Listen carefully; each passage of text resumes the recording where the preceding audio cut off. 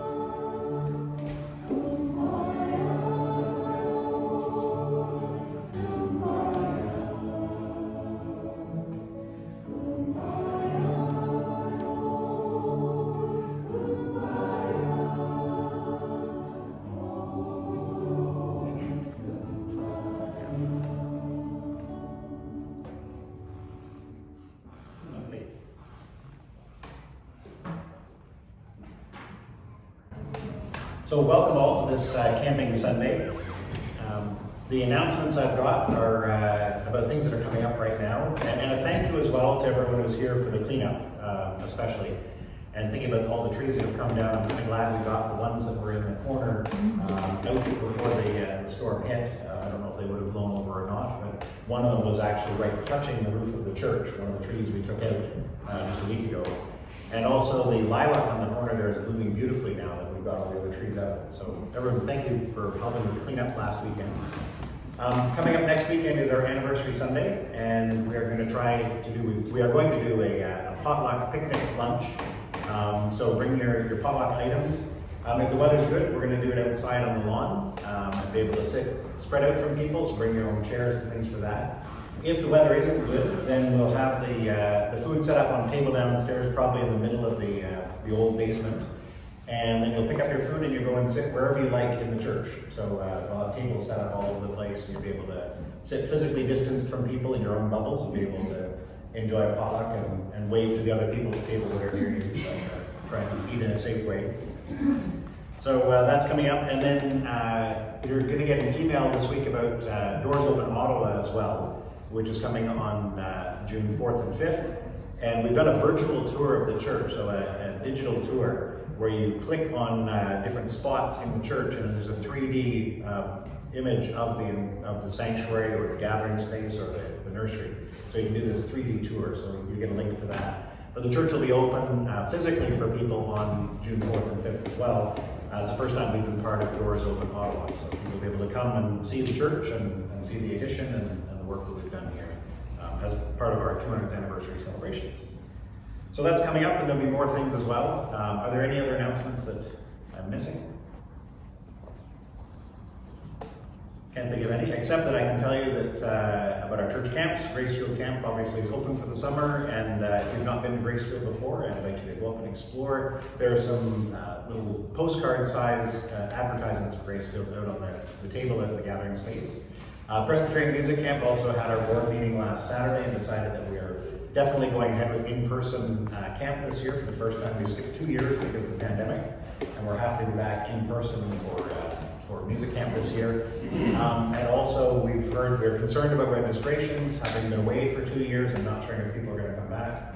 Um, we have um, over 110, I think we're at 115 registrations already, uh, and we've not had that in May before, um, in a long time anyway. So we're gonna, we're, that, that's good registrations for. Music camp will definitely be a go ahead this summer. So if you're interested in music camp, um, talk to anyone who's been to music camp. So uh, raise your hand if you've been to Presbyterian Music Camp.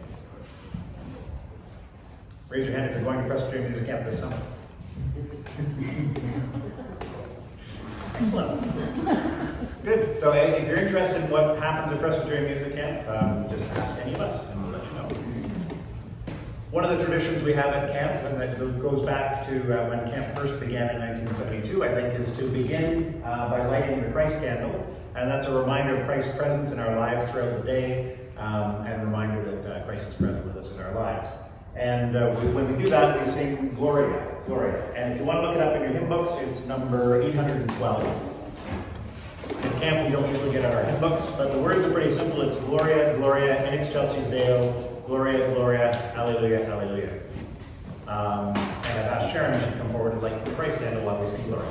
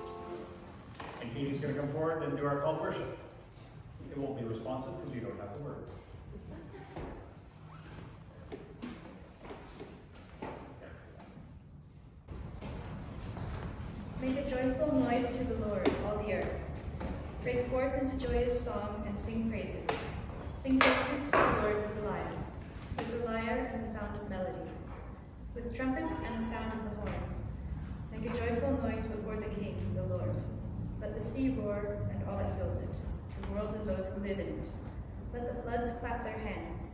Let the hills sing together for joy at the present, presence of the Lord. Let us worship God. Thank you. And our opening song is It Only Takes a Spark. Uh, if you have one of the yellow books, uh, the Praiseways books, it's number 38. Um, if you don't have a Praise Ways book, uh, we, There's more at the back. there's more at the back.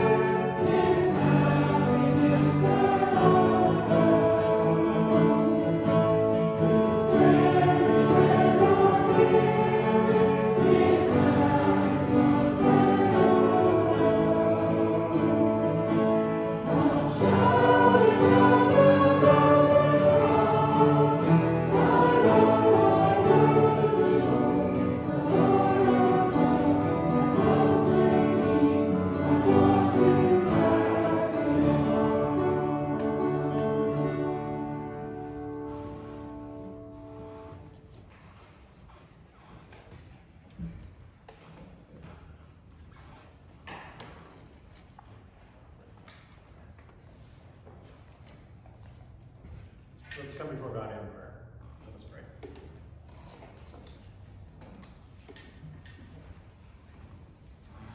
Living God, we gather this morning as your thankful people. We come to offer you our praise and our worship. We come to offer you our thanks. We come to thank you that we are safe, that we are here. We pray for those who are having a difficult time this morning. We pray for those who've lost loved ones in this storm. We pray for those who are dealing with uh, other issues and trees falling on their properties. Pray that you'll be with them, O God, and bring comfort and peace. We experience your loving presence, O God, and the beauty of your creation that surrounds us even when it overwhelms us. We experience your loving presence in Christ Jesus our Lord and Savior, and Christian community which brings us together and to which we belong. We thank you for revealing yourself to us for giving us an experience of your love. As we reflect, on your word, as we sing psalms, hymns, and spiritual songs to you, teach us your wisdom. Equip us to share your love with all people, with our words and with our actions. We ask this in Jesus' name. Amen. Hear the good news of the gospel that is shared with us. God's love is from everlasting to everlasting. God loves us and cares for us and so we care for others. Amen. We have an incredibly significant, uh, theologically significant song to sing next, and that's uh, I Just Want to Be a Sheep.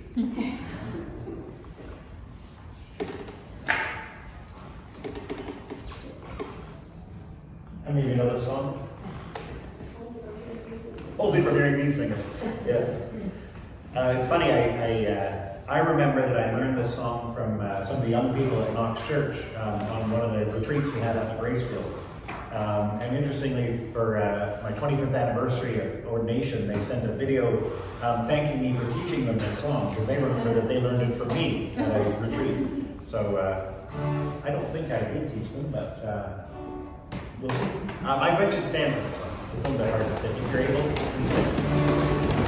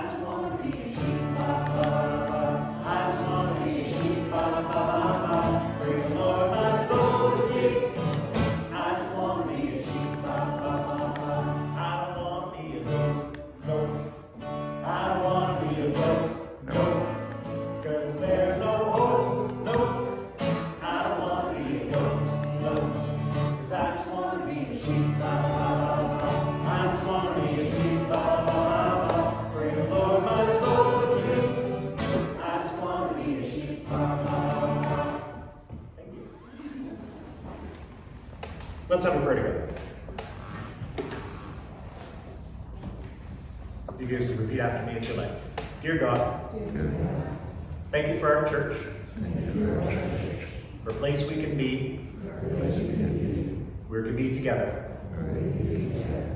Be with us now. In Jesus' name we pray. Amen. So I had chosen uh, Psalm 67 for this week, um, but for some reason last night I decided to switch it out for Psalm 29 this morning. Let's listen for God's word speaking through the Psalms. Ascribe to the Lord, O heavenly beings, ascribe to the Lord glory and strength. Ascribe to the Lord the glory of his name. Worship the Lord in holy splendor. The voice of the Lord is over the waters. The God of glory thunders. The Lord over mighty waters. The voice of the Lord is powerful. The voice of the Lord is full of majesty. The voice of the Lord breaks the cedars. The Lord breaks the cedars of Lebanon. The Lord makes Lebanon skip like a calf and Sirion like a young wild ox. The voice of the Lord flashes forth flames of fire. The voice of the Lord shakes the wilderness. The Lord shakes the wilderness of Kadesh. The voice of the Lord causes the oaks to whirl and strips the forest bare. And in his temple all say, Glory. The Lord sits enthroned over the flood. The Lord sits enthroned as king forever. May the Lord give strength to his people. May the Lord bless his people. May God add wisdom to this reading from the word. And our second reading is from Colossians 2, 12 to 17. And uh, Alan Powell was going to read today, but uh, he's not here, so Pauline, his daughter, will. One of his daughters.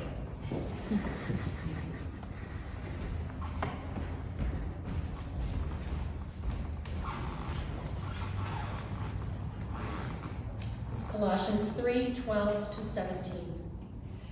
As God's chosen ones, holy and beloved, clothe yourselves with compassion, kindness, humility, meekness, and patience. Bear with one another, and if anyone has a complaint against another, forgive each other. Just as the Lord has forgiven you, so you must also forgive. Above all, clothe yourselves with love, which binds everything together in perfect harmony and let the peace of Christ rule in your hearts, to which indeed you were called, and in the one body. And be thankful. Let the word of Christ dwell in you richly. Teach and admonish one another in all wisdom. And with gratitude in your hearts, sing songs, hymns, and spiritual songs to God. And whatever you do, in word or deed, do everything in the name of the Lord Jesus, giving thanks to the God the Father through him.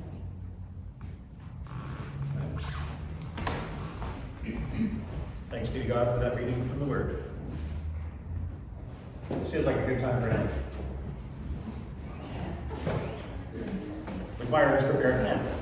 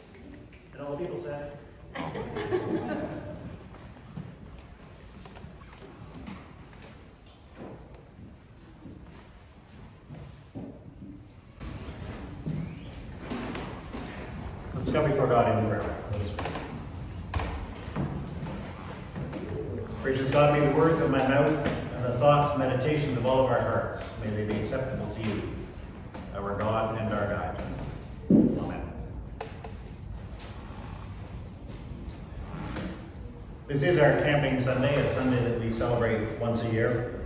And I mentioned at the beginning that uh, I switched out the psalm this morning from Psalm 67 to Psalm 29. Psalm 29 always makes me think of the, uh, the ice storm that we had uh, in 1998. And many of you were reflecting on that ice storm as you were coming in today and remembering what it was like, you know, seeing the trees falling and seeing the damage that was done uh, during that storm. Interestingly, that, uh, that Sunday, the first Sunday of the ice storm, we were in Gananoque at the time, I was a minister at the church in Gananoque. And uh, that was the song that was uh, for that Sunday, right after the ice storm. And all those passages about the, the cedars being ripped up and the oaks whirling and being torn down, it seemed such an appropriate uh, psalm for that Sunday. But I love the way that psalm ends with the comforting piece about saying that God is above the storm. The Lord sits enthroned over the flood. The Lord sits enthroned as king forever. May the Lord give strength to his people. May the Lord bless his people with peace. And kind of an acknowledgement that though we go through storms, uh, whether physical storms like we had yesterday or metaphorical storms in our lives, that God is present with us and God walks with us through that, giving us strength and giving, giving us peace as well. So we give thanks for that. So on a camping Sunday, I also chose a passage uh, about from Colossians about what it means to be a community. And uh, I'll ask you how many of you have experience with, uh, with camping in general, just going camping? Yeah? Just about everybody. Yeah? What is it you like about going camping? What is your experience of, of going camping? Yes? Piper? Once I was camping and there was a pool nearby. You were camping, there was what nearby? A pool. A pool. Great. Did you go swimming in the pool? Yeah. Do you like swimming? Oh, I love swimming too. Do you ever go swimming in a lake as well? Yeah? Is that a bit scarier going swimming in a lake? Yeah. Pools are kind of safe. You know what to expect in a pool. Yeah. Any other experiences of going camping? Things you remember? Yeah, Sam? Uh, whenever we go to music camp, uh, I enjoy the bonfires we have there. Yeah. That was fun. That's fun. Going to music camp and bonfires at night? Yeah. Um, any other experiences of camping? Yeah, Sylvia? David's cook breakfasts. David's cook, David cooks breakfast. Excellent. Good. And what do you cook for breakfast? Bacon and eggs. Bacon and eggs. Excellent. That's something I remember as well from growing up. We used to go up and, and uh, Gracefield Camp has a kids camp that they run, but there's also tent and trailer sites that you can go and rent. And we used to go as a family. I think lots of ministers from Ottawa did. I think because it was a really cheap vacation. Um, and I remember that uh, that you know usually during the year, not exclusively, uh, when I was a kid, my mom used to do most of the cooking. But whenever we went camping, um, she did none of the cooking, and my dad took over all the cooking, which was great. And uh, I remember later in life, Dad did a whole bunch of the cooking too. But but that was what I remember from camp. That, that my dad would get up and, and make breakfast and make the meals for us usually while we're camping.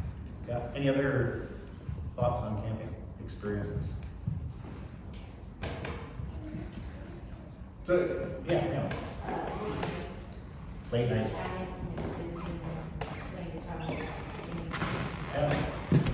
Late nights chatting, visiting, playing guitar. Yeah. Yeah, that's that's a big part of my experience at, at camp too. And, and there are you know, traditions of Presbyterian Music Camp about you know, staying up all night. There really aren't curfews and things, so if you want to stay up all night, you stay up all night. And um, the expectations is you get to your workshops the next day, ideally, but uh, uh, that doesn't always happen either. But there's there's that great opportunity to be be up all night. And um, you've thrown off my entire sermon, so that's fantastic. um, when I think of the Colossians passage uh, about uh, singing psalms, hymns, and spiritual songs, immediately that makes me think about our experience of music camp. You know, in other camps as well, we we, uh, we sing lots of songs and, and uh, things as well, but but music camp, of course, is, is pretty special. Music camp started uh, in 1972. Um, that was because there was a brand new hymn book that came out in 1972, and they thought a good way to introduce it to the whole church was to have a camp. So they actually arranged to have an organ uh, brought to a camp. It was at uh, Golden Lake Camp, a United Church camp property up near Pembroke. Um, because you couldn't imagine, you know, singing hymns without an organ, of course. Um, and and music camp started for that, and it was supposed to be for one year, and just to experience the uh, the new hymn book. And it was set up by a, a whole bunch of people from across the country, but sort of based in Montreal. And after that one week of camp, uh, the young people especially who were at that camp said, we, we have to do this again next year. So we said, okay, we'll do it one more year. Um, so they did it the next year, and that was 50 years ago now. And uh, uh, Music Camp has gone on every year since then. Even the last two years with uh, with COVID, we've done Music Camp virtually, so we're able to actually get together on Zoom, and we're able to send our different musical parts together to form songs, so we can sing songs, hymns, and spiritual songs, even when we can't be physically present with each other, which was a great experience. Um, so that music camp started back then, but the, but the young people said we can't let it stop. We gotta we gotta keep it going. And uh, my family went for the first time in 1976, so it's hard for me to think back and believe that we were there for the fourth music camp, and we've been just about every year since then. Uh, we missed a few years, uh, but uh, most years we- we've been there at, at music camp uh, to enjoy that experience. And and I also grew up going to uh, a Gracefield camp. Um, that's the camp that I went to, like I said, when I was a kid. Our family used to camp up there, and then um, I was on staff as well, and I volunteered on staff when I was too young to be there and get paid. And then I was paid when I was able to be older, and then actually stayed on and did construction and managed the camp one fall as well. Um, and, and there's a whole bunch of different church camps that, uh, that the Presbyterian Church in Canada has. And uh, it's great that one of the things we've discovered during the pandemic is as we face challenges um, as camps across the country, um, we've discovered that it, it's good to get together and actually see how we can share and how we can um, share our ideas and how we can uh, how we can help each other. So just because of the pandemic, uh, a national um, camping group started, um, run by the national church, and we get together once a month and say, how are things going? What are you experiencing in Saskatchewan? What are you experiencing in Nova Scotia? And here's what's happening in Ontario. And it's been a great way to share resources with each other and to see that other people are going through the same sort of thing. And again, that brings me right back to our Colossians passage. Um, because it, the Colossians passage to me is about what it means to be a community, what it means to be a community of faith. We have that experience here in our church, um, and it's different from camp experience. Camp experience can be uh, quite intense because you're there for one week, um, you're sharing meals with everybody, you're staying up late and talking, and campfires, and, and you have a wonderful experience of being at camp, and, and I wouldn't trade that for the world. Um, and church is a different kind of camp, or church, different kind of Christian community because we're not living in that intense, close relationship, but we are there with each other for every experience throughout the entire year and over many years. So we celebrate together, and when there are babies born, we celebrate that together with baptism. And when uh, people get married, we celebrate that together as a community. When people die, um, we get together and we celebrate their lives, even though it's a sad time. And knowing that you can be together as a community means that the weight that you carry isn't, isn't as heavy. So our Colossians passage is all about what it means to be a community. Um, and, and how uh, you love and care for each other, you forgive each other, and you move on. And it's important that it says, and you sing songs, hymns, and spiritual songs to each other. Um, that experience of, of singing together um, and that experience of being together as a community makes a huge difference in, our lives. And so this one Sunday each year, we, we talk about the different camps that the Presbyterian Church has, and I encourage you to find out more. And if you're interested in, uh, in the different camps, just let me know, and, and I can help get you connected to a church camp. Uh, we are lucky to have Gracefield only an hour and a half away as well, a beautiful 250 acre facility with lots of, lots of room, uh, beautiful lake. Uh, but we have lots of other camps as well, with music camp and others. So it's a great opportunity to celebrate the camps that we have and celebrate what it means to be uh, a Christian community, uh, relying on other, each other and forgiving each other and singing together and knowing that God is present with us in all these experiences that we have. And for that, we give thanks. Amen.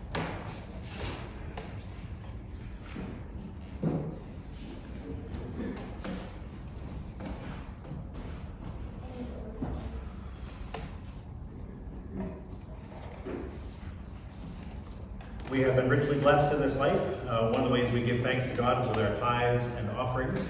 And uh, I think uh, Peter was going to bring up the offering plate today. Peter didn't know that. Peter does now.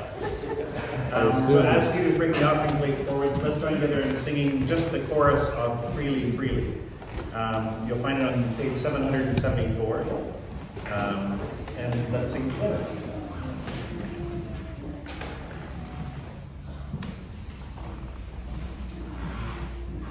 Ground Zero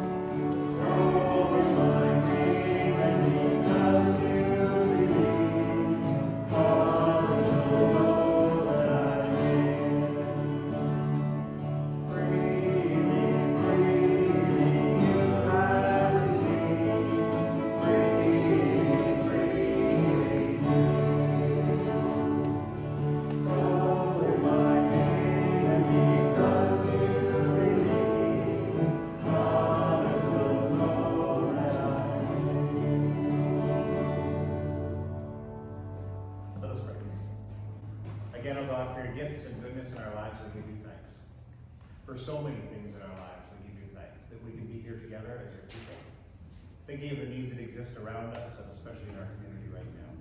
We ask that what we've given today might be used wherever there is need, close to home or far away.